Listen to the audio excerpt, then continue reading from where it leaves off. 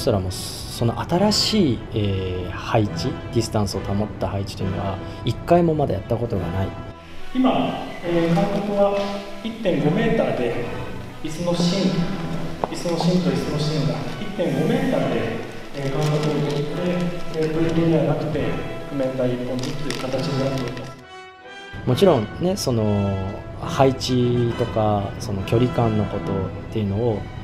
客観的に気を使わなきゃいけないとかあの冷静にいなきゃいけない時間にしなきゃいけなかったんですけどもう嬉しさとみんなと音楽ができるっていうことがあまりにも嬉しくてやっぱちょっと興奮してましたね正直。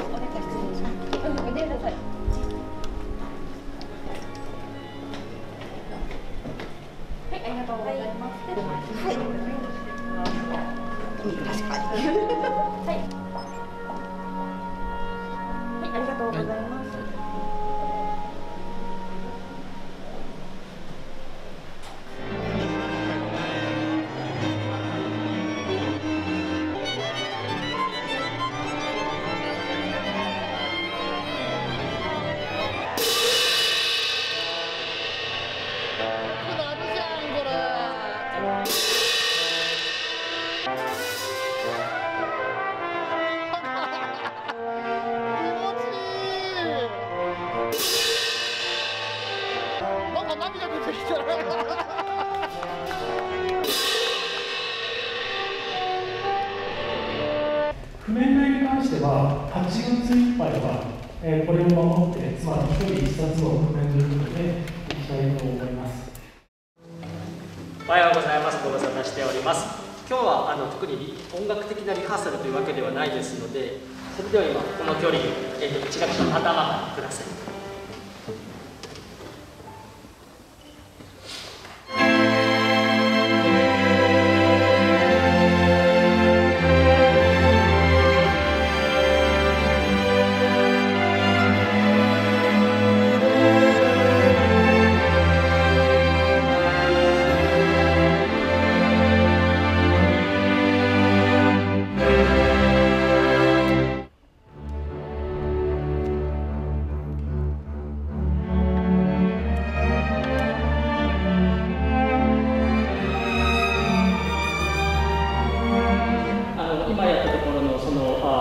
ントラバスの3連ですねボンボンボンボンボンボンってい。うのは後ろの方だとほとんど聞こえてるんだけどちょっと遅れて聞こえるのではは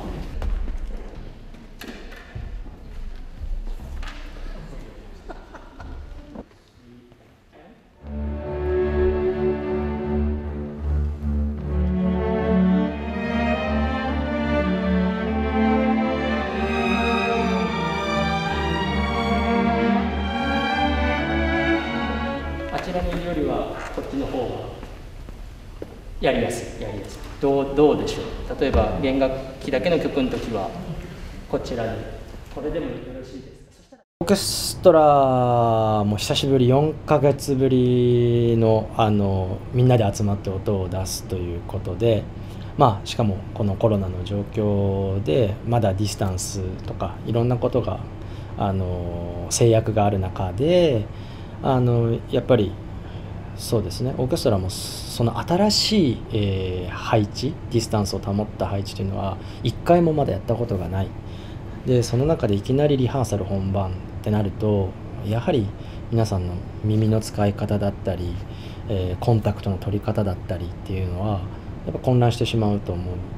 うので、まあ、今回この思想会支援会というものを設けて、まあ、皆さんにこれぐらいの距離だったらいけるよねっていうことはもちろんのこと。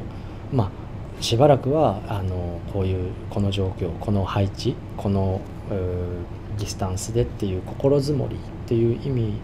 も込めて非常にあの重要なあの2日間、うん、だったんじゃないかなというふうに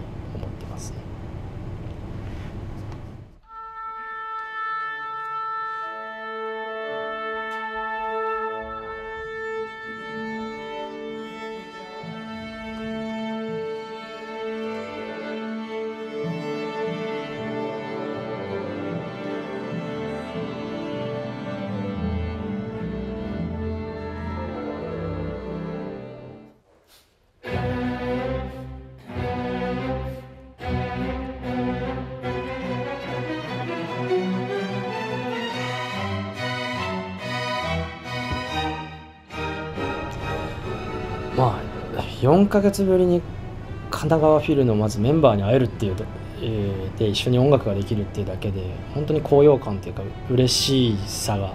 緊張感もありましたけど勝っていてで何より嬉しかったのは特に今日感じたんですけれどもあのダブルジャークの新世界をやってみて、え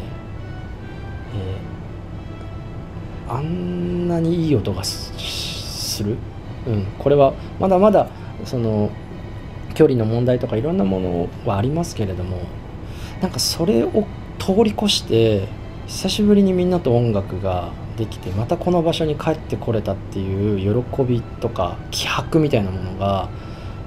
音を通して出ていてあのすごくいい音でした。でそれに素直に感動しました。だからあの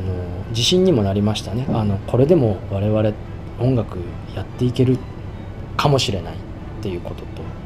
うん、なのでこれからまた少しずつではありますけど演奏会が再開したしてどういうふうにこの上にさらに積み上がっていくのかっていうのが非常に楽しみですし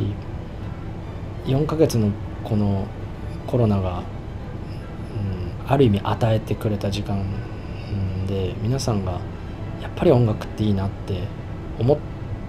たんだと思うんですよね。今日のこのそれが音に表れていたので。あのもう言うことなしっていう感じですね、はい。えー、いつも神奈川フィルを応援してくださってありがとうございます、えー、しばらく我々もあの音楽を皆様に、えー、生ではお届けできませんでしたけれども少しずつまた生で、え皆様にお届けできる機会がちょっとずつ出てきました、えー、本当に音楽っていうのはあの川の流れのようなものでやっぱ川と一緒で、ね、水を止めてしまうと川は死んでしまうのと一緒であの音楽っていうのは少しでもいいからやっぱり皆さんの心に届くように、えー、我々が責任を持って流し続けなくてはいけないものだと思っておりますし、え、それが、え、皆様の、え生活だったり心を豊かにする、え一つの